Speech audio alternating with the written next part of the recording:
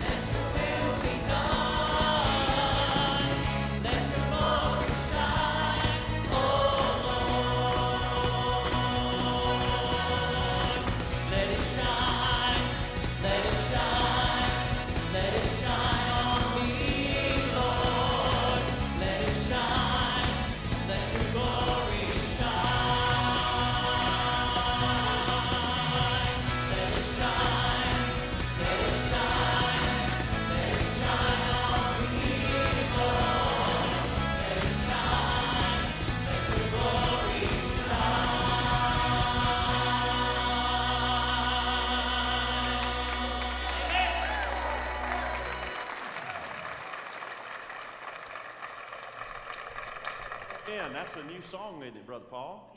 Amen. That's good. Good. Welcome. Good evening. Welcome to the hurricaneless service. Amen. Amen.